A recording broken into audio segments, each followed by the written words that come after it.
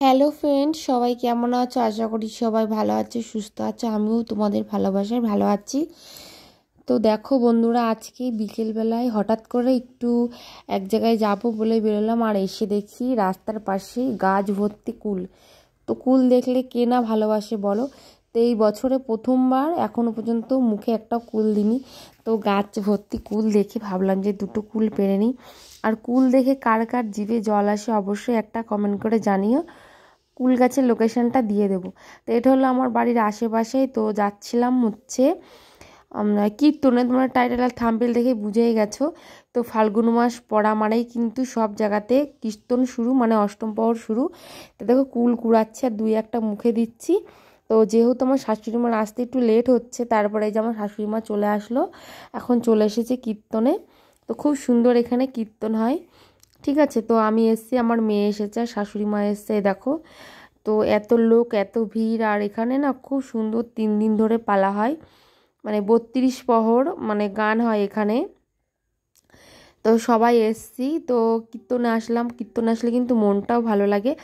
আর আমি ছোটোবেলার থেকে এই গান, বাজনা, কীর্তন এগুলো ভালোবাসি। ঠিক আছে তোমরা তো সবাই জানো যে যারা আমার ব্লগ দেখো দেখো আমি ম্যাক্সিমাম তোমাদেরকে ঠাকুর দেবতার পুজোর ব্লগই শেয়ার করি। তো ভাবলাম যে কীর্তনে, হরিবাসরে আসলাম, তোমাদেরকে একটু শেয়ার করব না, তা কি হয়? তো এত সুন্দর এই জায়গাটা সাজিয়েছে, খুব সুন্দর লাগছে দেখতে।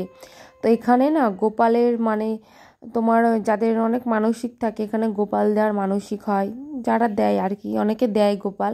তো আমার মেয়ে যখন ছোটোবেলায় হয়েছিল, আমার মেয়েরও এখানে মানসিক ছিল। তো আমি এখানে এসে তারপরে দিয়ে গেছিলাম। তো তারপরে দেখো এখানে খুব সুন্দর লাইটিং করে তো এইখানটায় খুব সুন্দর লাইটিং করেছে। তো ভাবলাম একটু ভিতরটা দিয়ে ঘুরে আসি। আর এত ভিড়, এত জ্যাম তো যাওয়াই যাচ্ছে না। আর তারপরে এই দেখো, পরপর সব কীর্তনের দলের লোক উঠছে। তো ভাবলাম একটুখানি সন্ধ্যা আরতিটা দেখে নিই। তারপরে একটু মহাপ্রভুর প্রসাদ নেব। তো, দেখো, এত লোক আর এত আনন্দ হচ্ছে। আর এই মাসটা পড়লেই কিন্তু পুরো সারা গ্রাম ধরে কিন্তু এই অষ্টম বহর মানে শুরু হয়ে যায়। আর খুব ভালো লাগে। আর আমার সব থেকে ভালো লাগে কি জানো তো, যে পালা করে করে কীর্তনগুলো করে। আর এই নাম, এক সুরের নাম খুব সুন্দর লাগে। তো কারা কারা কীর্তনে যেতে ভালোবাসো অবশ্যই কিন্তু বলো, ঠিক আছে? কমেন্ট করে জানিও। তারপরে চলে গেলাম মহাপ্রভুর প্রসাদ বিতরণ হচ্ছে। এই দেখো এখানটায় কত লোক, দেখো। তো আমরা বসে পড়েছি। প্রসাদ খেতে আজ কারা কারা প্রসাদ খেতে ভালোবাসো জানিও। হুম, তো আমার তো খুব খুব ভালো লাগে। যেখানে যায় না কেন, আগে গিয়ে কিন্তু একটু প্রসাদ আমি নেবই। আর যখন আমি যদি না যাই, তখন কিন্তু আমার শাশুড়িকে বলি, আমার জন্য একটু প্রসাদ নিয়ে আসো। তো চলো প্রসাদটা নিয়ে নিই, তারপরে আবার তোমাদের সাথে ভিডিওটা শেয়ার করছি।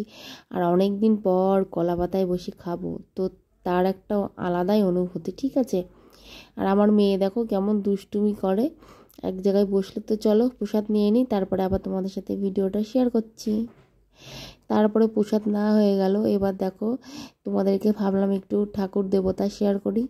এই যে তোমাদের আগেই বলেছি যেখানে অনেক গোপালের মানসিক থাকে, ঠিক আছে? যে যার মনের কামনা মানে বাসনা এখানে করে, সে হয়ে গেলে দেয় যে, গোপাল, দেখো, তো আমার মেয়ে আবার গোপাল ভাইকে একটু চুম খাচ্ছে, হামি দিচ্ছে।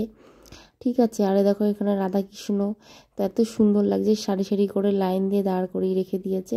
তো দেখে খুব ভালো লাগছে। ঠিক আছে। তো যাই হোক, হরে কৃষ্ণ। তো বন্ধুরা, ব্লগটা কেমন লাগল অবশ্যই কমেন্ট করে জানিও আর লাইক করে দিও, ভিডিওটা শেয়ার করে দিও। তো চলো, দেখা হবে আবার পরের ব্লগে ঠিক আছে? ততক্ষণ সবাই সাবধানে দেখো ভালো থাকো, সুস্থ থাকো। আর এইভাবে আমার পাশে দেখো চলো, টাটা।